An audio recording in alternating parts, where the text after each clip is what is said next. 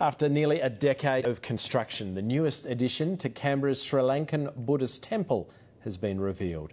Drums, dancing, and plenty of colour welcomed the opening of the new stupa at the temple in Canberra. And it's hoped the remarkable structure will help spread the Buddhist community's message beyond the temple gates. It's been an eight year labour of love.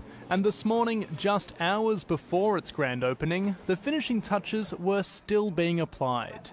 This is the first stupa in Canberra, erected at the Sri Lanka Buddhist temple in Canberra.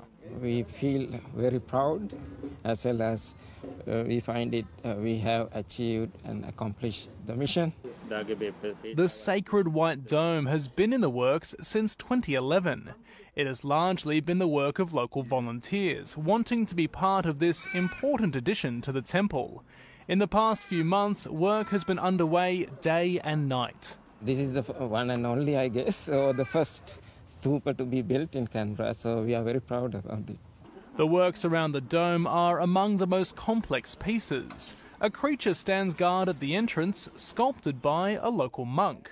It is a mythical creature made of five beasts, namely the animal, the crocodile, the pig, and the lion, plus some parts of fish.